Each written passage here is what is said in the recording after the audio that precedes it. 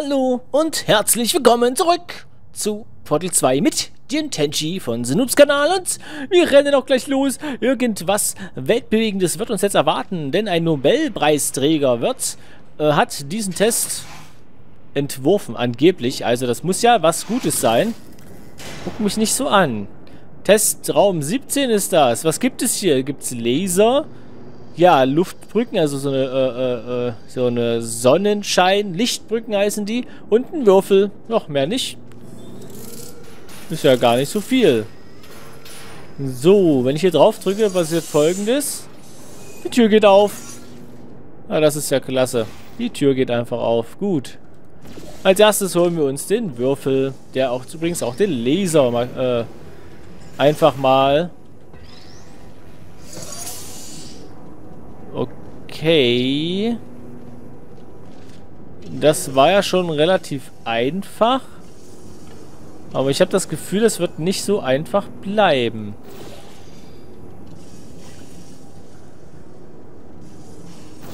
Ah!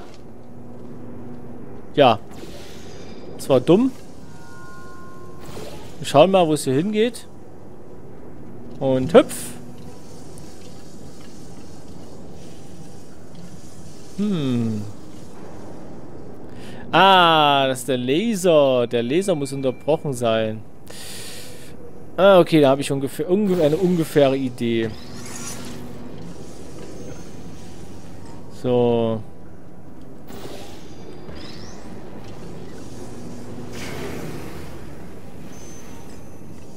So.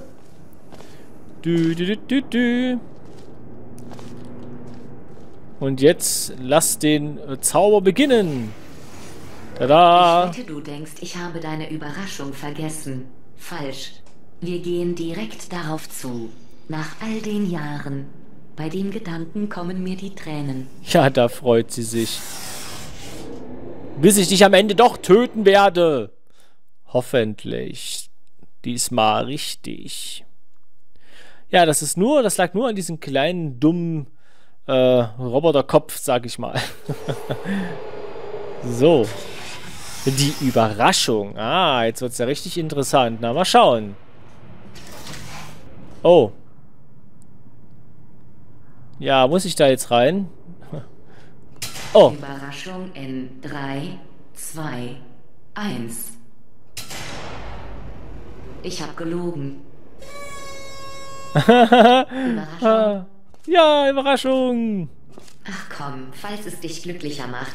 Sie haben dich als Baby verstoßen, also glaube ich kaum, dass sie dich sehen wollen würden. Ach, die zwei Menschen meint sie. Meine Eltern. Aber ich glaube, die... Hä? Ich dachte, das ist eine Scheibe. Es ist gar keine Scheibe, oder wie? Oh, es ist gar keine Scheibe. Na gut, ähm, dann schauen wir mal, was wir hier machen müssen. Da gibt es einen Würfel. Ich springe einfach mal runter. So. Also, hier haben wir einen Laser. Mit dem können wir den da hinten wahrscheinlich irgendwann mal wegballern. Das wäre sehr cool. So. Mit Orange kann ich also eine Brücke bilden. So zum Beispiel. Oder so.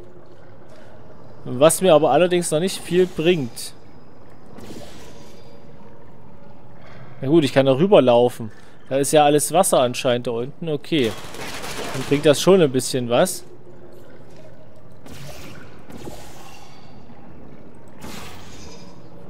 Das ist, gehe ich mal hier hin. Da bin ich wenigstens hinter dem Teil. So. Wo kommt's raus? Da kommt's raus und es... Oh.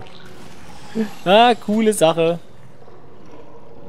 Das heißt, ich versuche das mal irgendwie... Das ist echt eine gute Frage.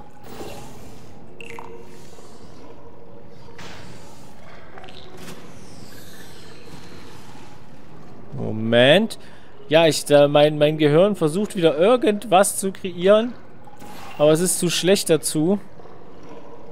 Ich habe jetzt hier eine Brücke. Dann habe ich hier eine Brücke. Das ist auch schon mal sehr schön. Aber ich bräuchte eigentlich da So bräuchte ich das. Und hüpf. Sehr schön. Wow. So, du. Du Stück da hinten. Ich werde dich gleich abballern. Oh. So, du bleibst jetzt hier. Lauf, lauf, bevor es dich wegballert. Lauf, lauf. So. Jetzt kannst du was erleben, du Dreckvieh. Renne! Gut, jetzt haben wir das wenigstens schon mal geschafft. Und jetzt müssen wir uns um die Laser kümmern. Die müssen jetzt nämlich hier komplett durch alle anscheinend durch. So, da geht's durch, dann dahin. So, das heißt da lang und ja, das ist doch nicht so schwer. Also. Du wirst ungefähr hier sein. Und der andere muss ich noch drehen, dann klappt das schon. Ist ja dann doch nicht so schwer, wie ich eigentlich ursprünglich gedacht habe. Aber naja. Man kann ja nicht alles haben. Ja, natürlich ist er ein bisschen falsch gedreht, der Würfel. Müssen wir also doch noch mal ran. Ja. So.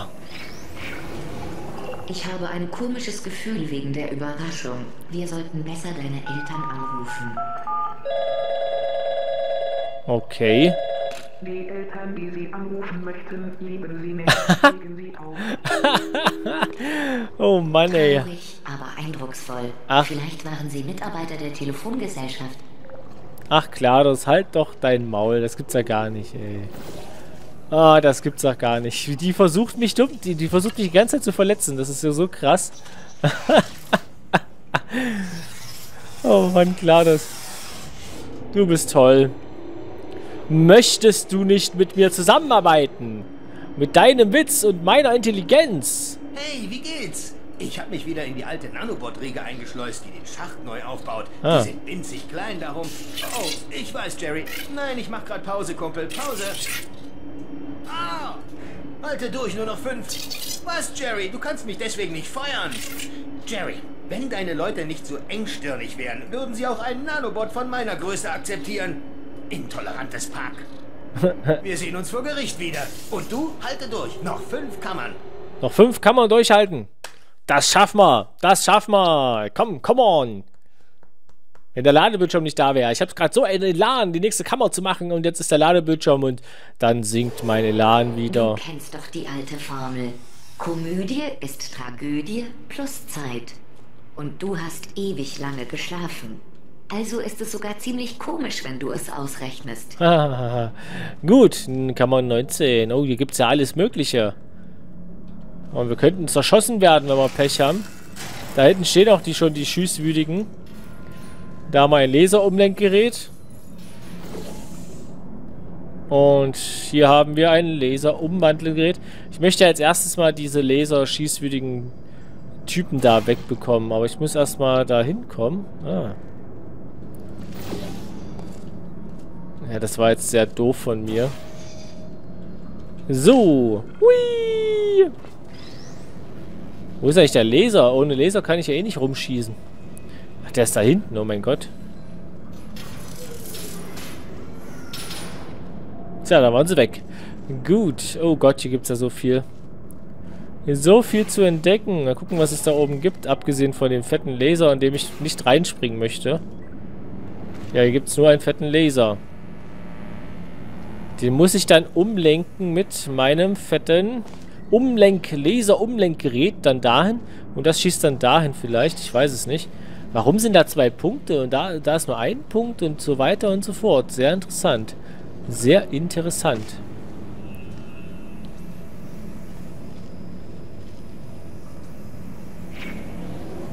So.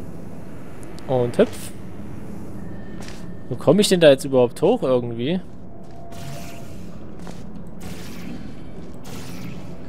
Ich glaube ja irgendwie nicht. Da vielleicht an der kleinen Ecke? Hm. Gut, äh, gucken wir erstmal weiter. Hier haben wir sogar was zum Jumpen.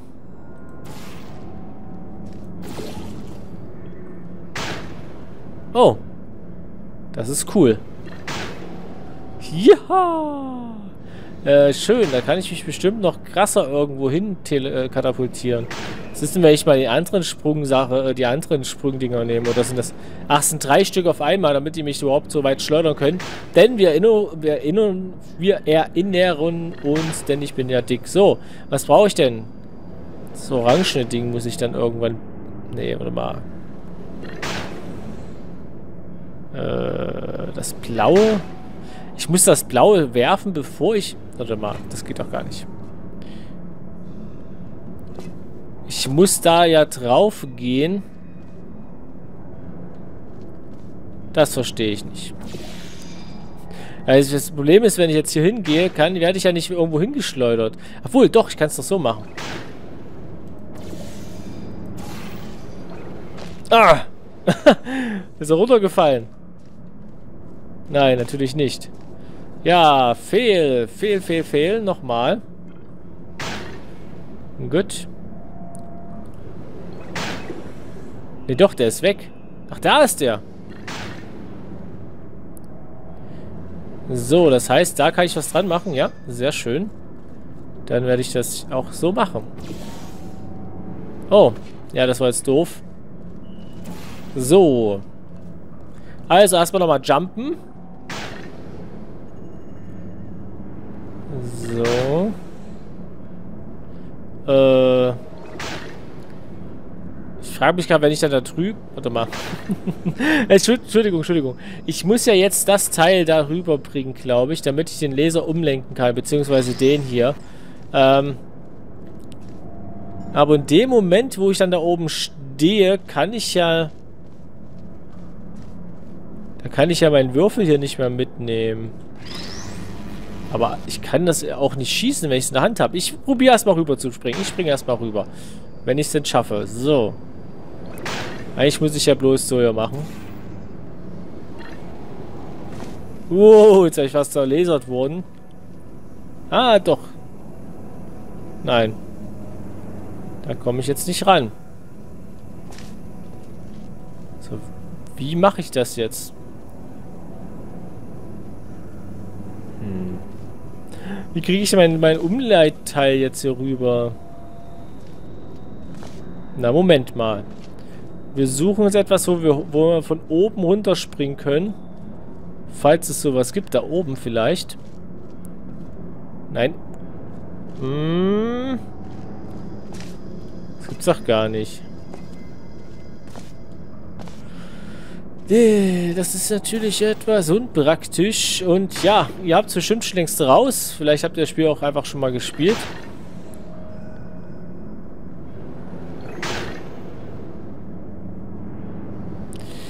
Äh, steht total auf dem Schlauch. Ich habe gerade echt keine Ahnung. Vielleicht einfach mitnehmen jetzt. Ah. So kann ich es vielleicht machen, dass ich das dann einfach mitnehme. Kurz bevor ich da hinfalle. ich möchte aber bezweifeln, dass ich das hinkriege.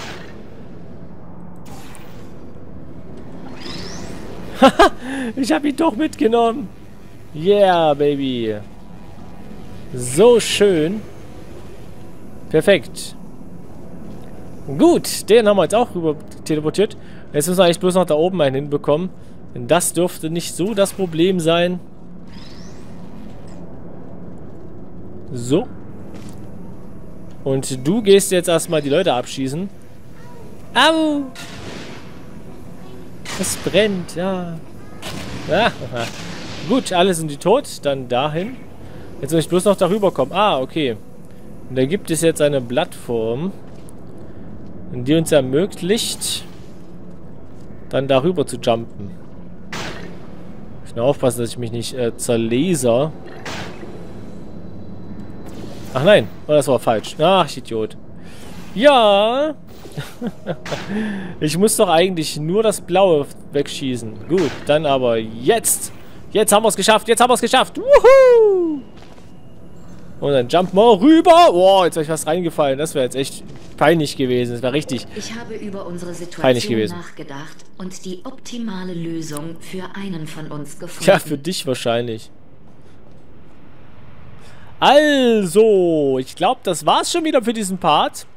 Dann werde ich jetzt hier abspeichern und äh, auch erstmal meine Aufnahmesession beenden. Und wir sehen uns aber trotzdem gleich im nächsten Part dann wieder bei Portal 2 mit mir, dem Tenchi. Bis dann. Tschüss.